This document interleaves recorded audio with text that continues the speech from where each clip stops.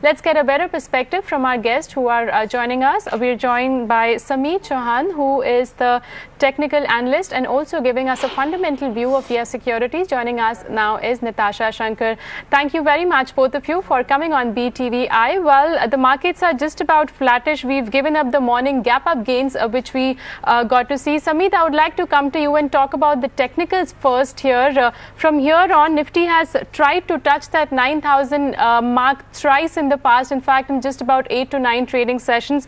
Do you see Nifty crossing that 9,000 mark in the recent uh, in the near future or there could be further correction which could come in?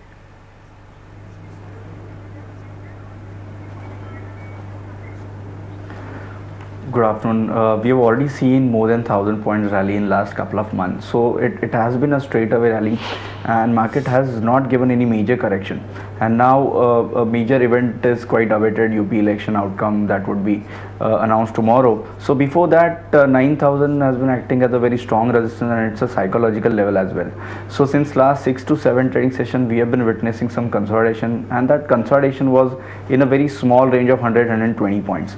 So at the lower end 8900 8850 seems to be a very strong support and if we look at the broader chart structure weekly and monthly chart structure is quite encouraging. And if we if we consider the bullish cup and handle pattern on weekly and monthly chart uh, we expect uh, nifty to surpass this hurdle quite soon. In fact uh, we are of the opinion that uh, nifty might uh, uh, test new all-time highs quite soon. So we would maintain our optimistic stance on the market. Any dip would be a buying opportunity and at current juncture the base has shifted higher now. So earlier it was around 8500 8700 from there it has now shifted towards 8800 to 8850 uh, so if we have to take any directional call obviously we would uh, like to take a uh, you know we would like to anticipate a breakout from a hurdle of 9000 and we would expect nifty to move towards 9100 9200 expect 91 to 9200 uh, on uh, the market soon. Uh, Natasha, are you in that uh, camp as well? Uh, uh, of course, it's been a strong rally in the last couple of months. exit polls predicting BJP leading in three out of five states, but they've been known to be wrong in the past. What if it does not play out to script? do you think markets will be disappointed and you could see a reversal, or would it just be a short-term blip and the fundamentals remain intact for moving from strength to strength here on forwards?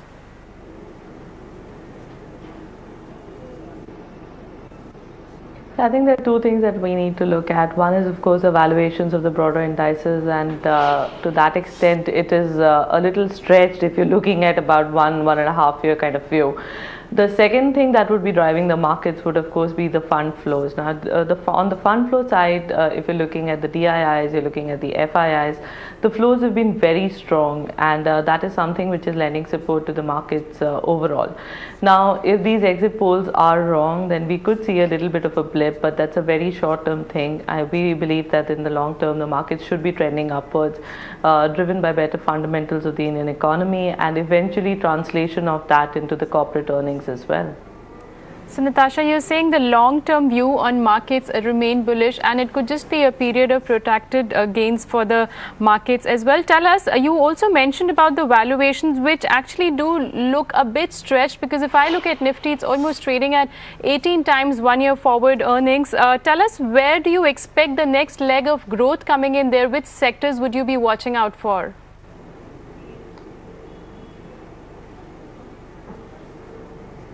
So we believe that uh, yes, if you're looking at uh, the headline indices, you're looking at Nifty. Yes, the valuations do look a little uh, stretched, but there are pockets of growth uh, where we could see. Uh, sorry, pockets of value where we could see a lot of growth coming in. Uh, now, if you look at the auto numbers, they have been improving month on month. of course, post demonetization, there was a bit of a blip which came in over there, but since then the numbers have revived. The companies have announced that they're going to be coming up with new models. In fact, they have have a, an entire slew of models uh, ready for launch uh, during the current financial year, which would be driving their growth as well.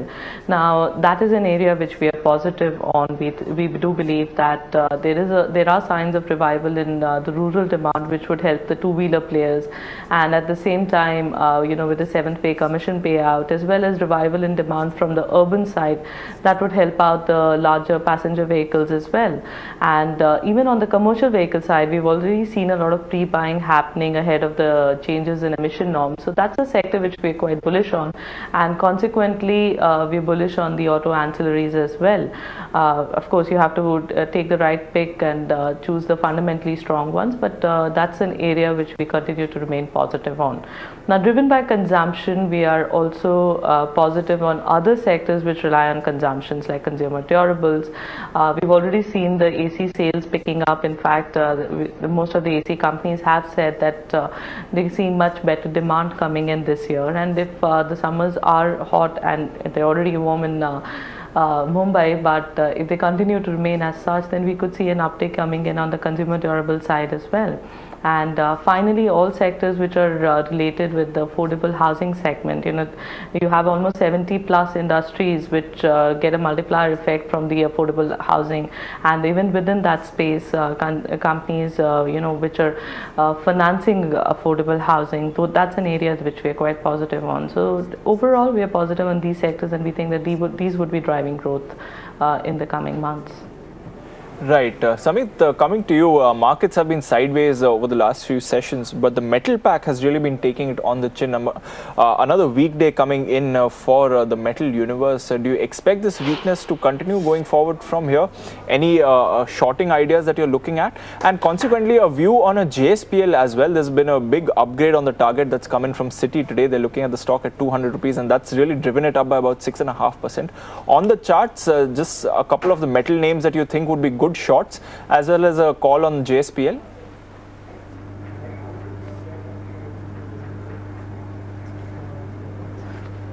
Yes, uh, we have already seen a stupendous rally from uh, lower levels of uh, you know February 2016 in in the entire uh, metal space.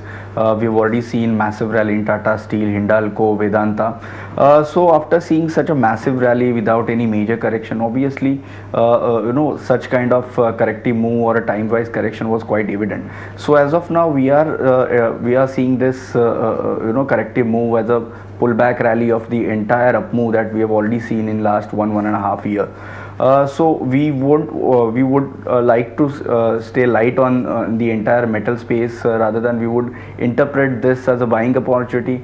as far as the levels for Tata Steel is concerned, the Tata Steel can move towards say 450, 455, but we would avoid going short at current levels since the stock has already come off a bit from recent highs. So we would rather wait for this dip to happen in case if Tata Steel comes around 450, 455, uh, we would interpret this as a very good buying buying opportunity. Uh, if you look at the weekly, monthly chart, uh, charts are quite encouraging and we expect uh, you know, Tata Steel to move beyond 500, 510 quite soon. Uh, before that, we would expect some consolidation. Consolidation would be in a very broad range of say 40 to 50 points.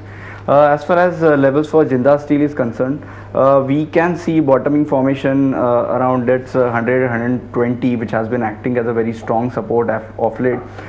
yes, monthly chart certainly looks encouraging, and from here on, uh, we expect uh, Jindal Steel to move towards 148, uh, which is the 20 moving average on uh, 200 moving average on weekly chart. Uh, so any dip in Jindal Steel would be a very good buying opportunity. Now 115 to 110 would act as a very strong support. We just marked Bosch for you uh, some time back. The stock's up about 4%. So the buying actually continues and the stock is going to touch the levels of 23,000. So up about 4% right now. Bosch, your top gainer on uh, Nifty. Sameet, anything on Bosch on the charts? It's looking good. Should one enter at current levels or book profits?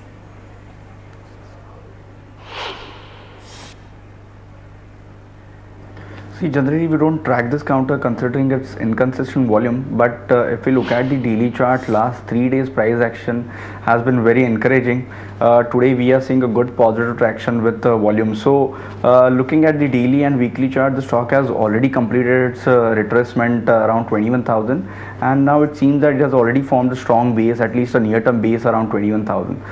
so, we would expect continuation of this rally at least toward 23,000, 23,200 so any minor dip, probably 200 points from current level would be a good buying, buying opportunity considering the risk to reward ratio. See, in that case, one can keep a strict stop loss around 21,000 and expect a target of say 23,000 or uh, 23,200. Nitasha, of course, uh, banks are always a part of uh, any market conversation, and today uh, three big news triggers coming in. So the finance minister meeting with RBI officials later to take a stock of the NPA situation.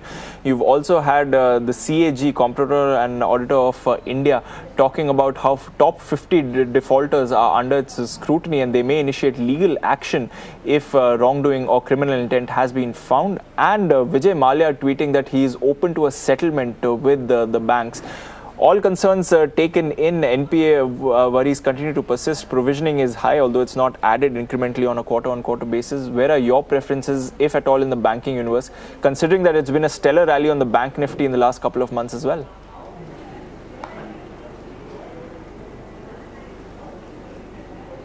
I think if you're positive on the Indian economy, it's very difficult not to be positive on the banking sector. Uh, after all, that is a, like a backbone of the Indian economy. So we are positive on the bank side, but uh, essentially we are more positive on the private banking side as compared to the PSU banks because uh, the PSU banks have seen higher, uh, you know, NPA levels, although the uh, bigger ones like SBI, they have been working towards trying to reduce that consistently. So if uh, we had to take a call, private banks over PSU banks and within the PSU space, if you really want to uh, take a stock, then it would uh, definitely be the largest uh, PSU bank, which is SBI. All right. Uh, Natasha, also tell us the sense on fund flows, uh, given a scenario where, you know, US Fed could increase rates uh, next week and the consensus is 91% that the rates could actually go up going uh, forward. And uh, we've also seen, you know, FIs being net sellers in the last three to four months for our uh, markets. Do you expect the flows to shift to other emerging markets or to developed markets, in fact, that is US in case if the rates go up?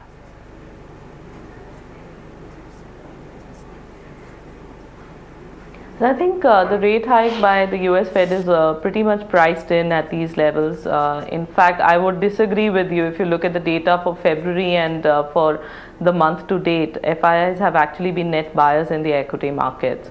So uh, there has been a revival of interest in the Indian equity markets and if you're really looking at uh, vis-a-vis -vis the other emerging markets, India still continues to be a shining star. So yes, you could have these momentary blips for which could last a day or two or even a month or so. But uh, if you're looking at the longer tre uh, term trend, uh, India's uh, fundamentals continue to be strong, and uh, that would attract fund flow uh, from the FII side. And at the same time, let's not forget that the DIIs have been supporting the markets even during the times when FII funds were negative in November, December, and in fact even in January. So with the kind of uh, flows that they've seen coming in uh, from the SIPs and coming in from the other uh, you know applications uh, over there, uh, I think we do believe that the funds would continue to remain strong on the DII side. And FIIs, yes, you would have a, day, a couple of months of blips, but they should come back too. Right. Uh, Sameet, just about a couple of minutes to go before we wind down today's trading action. Any trading ideas that you want to share with the viewers, or are you sitting on cash right now ahead of uh, what is expected to be a volatile Tuesday?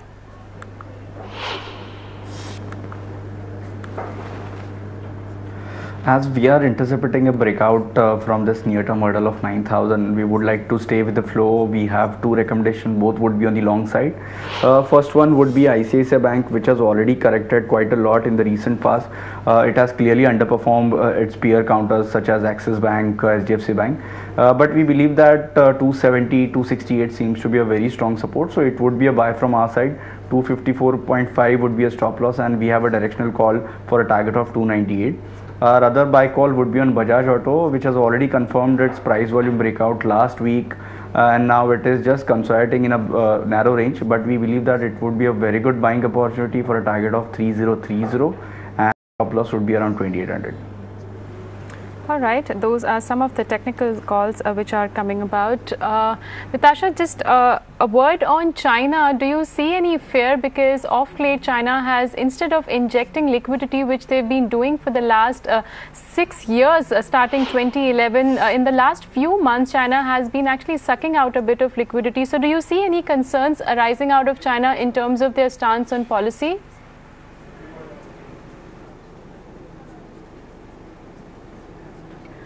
The days whenever they do uh, announce something, yes, you have a blip coming in in the market. But like I said earlier, uh, we don't think that that's something that is going to last too long. Probably you'll have a couple of, uh, you know, 50 points down or 100 points down. But the, given that the flows are quite strong, we we expect that to revive even within the same day. So not something that we are very concerned about as of now. Fair point, uh, Nitasha. Sameet, uh, we'll leave it at that. Uh, watching out for, of course, uh, the state assembly elections uh, tomorrow and how markets uh, react on Tuesday. Remember, Monday is a market holiday. Sameet, Nitasha, thank you for joining us. you guys have a good weekend and a happy Holi to both of you. Let's pull up the markets as we wind down today's trading action. Another day of sideways trade. So you opened up by about half a percent, but have steadily given up those gains to trade in an extremely narrow range, 89.33. That's where we're shutting shop at just about one tenth of a percent of a gain coming in. Uh, Bosch is your top gainer in trade, 3.3% of an up move coming in there. So that's been a stellar outperformance. Bharti Airtel and Bharti Infratel, both of them having a good day, adding about 1.2% each. Uh, Bank Nifty, absolutely quiet in trade, no real big moves coming in. But within that, Yes Bank was your top gainer today, up by about a percent. You also had good move coming in for an IndusInd, again up by about a percent. HDFC Bank also contributing to gains, but about 1 is to 1 advance decline ratio on the Bank Nifty. L&T picked up momentum up by about a percent. TCS also having a good day of trade.